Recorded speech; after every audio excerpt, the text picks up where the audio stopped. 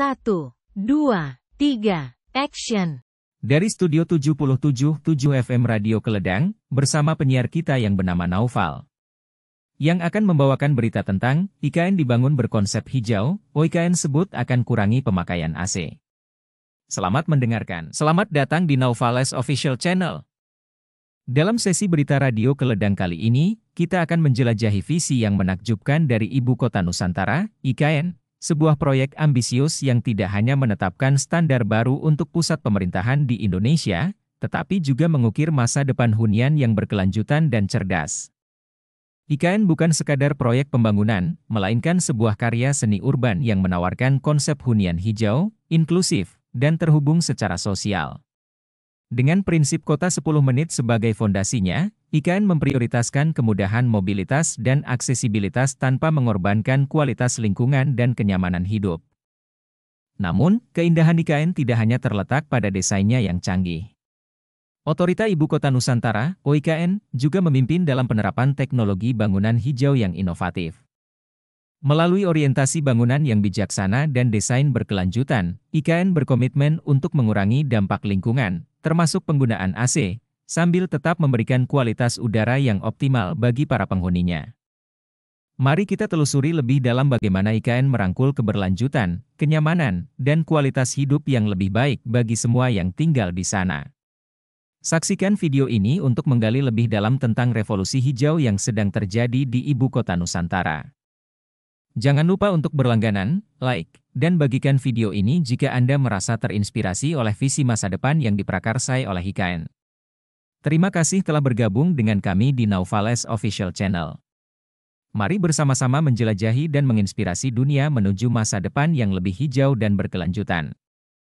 Ibu Kota Nusantara, IKN, bukan hanya sebagai lokasi baru pusat pemerintahan di Indonesia, melainkan kawasan hunian baru yang dimulai dari nol. Untuk menunjang kenyamanan pemukiman di IKN, hunian di sana akan berkonsep bangunan hijau, berkelanjutan, dan smart home. Merujuk dari Urban Design Kit, kawasan inti pusat pemerintahan, konsep hunian di IKN akan berbasis komunitas, bangunan dapat dijangkau dalam waktu 10 menit sesuai dengan konsep kota 10 menit. Konsep kota 10 menit ini mempermudah mobilisasi masyarakat di IKN berpindah dari satu tempat ke tempat lain dalam waktu singkat dengan akses transit dan pejalan kaki yang mudah.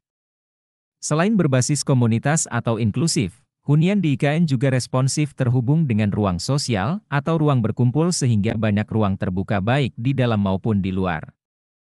Jadi kami dalam membangun hunian dan komunitas di IKN dipastikan 100% jalur pejalan kaki tidak akan terputus. Kemudian 90-nya pedestriannya dengan teduhannya dan 10% akses ke taman kota, kata Jafung Perencana Ahli Madya, Direktorat Perencanaan Makro IKN. Kartika Puspitasari dalam acara kolaborasi pembangunan perkotaan berkelanjutan melalui penguatan penggunaan produk dalam negeri yang ramah lingkungan di Balikpapan, Senin, 22 April 2024. Otorita Ibu Kota Nusantara, OIKN, telah merencanakan konsep kota 10 menit. Konsep kota 10 menit ini mempermudah mobilisasi masyarakat saat berpindah dari satu tempat ke tempat lain dalam waktu singkat. Konsep ini juga dibangun bersamaan dengan tersedianya hunian yang inklusif. Penerapan bangunan hijau dan berkelanjutan di IKN. Kartika menyebutkan untuk membangun bangunan hijau di IKN perlu memperhatikan kontur lahan di sana untuk menghindari perubahan lahan yang sudah terbangun. Lalu setiap bangunan di IKN memiliki celah untuk sirkulasi udara dari tengah sehingga mengurangi penggunaan AC. Mengusahakan orientasi bangunan utara selatan supaya tidak terjadi pemanasan maksimum dalam bangunan oleh cahaya matahari, sehingga akan mengurangi penggunaan air conditioning. Penerapan bangunan hijau dan berkelanjutan di IKN. Kartika menyebutkan untuk membangun bangunan hijau di IKN perlu memperhatikan kontur lahan di sana untuk menghindari perubahan lahan yang sudah terbangun. Lalu setiap bangunan di IKN memiliki celah untuk sirkulasi udara dari tengah sehingga mengurangi penggunaan AC. Mengusahakan orientasi bangunan utara selatan supaya tidak terjadi pemanasan maksimum dalam bangunan oleh cahaya matahari, sehingga akan mengurangi penggunaan air conditioning. Hunian di IKN juga ada hunian beratap rendah selain berbentuk rumah susun. Jarak antar satu rumah dengan yang lainnya juga tidak terlalu berdekatan. Hal ini untuk mempermudah setiap rumah mendapatkan cahaya matahari. Ruang-ruang hijau juga mengelilingi hunian di IKN berguna untuk memproteksi panas, menciptakan banyak oksigen di sekitar hunian, dan bisa untuk berkebun.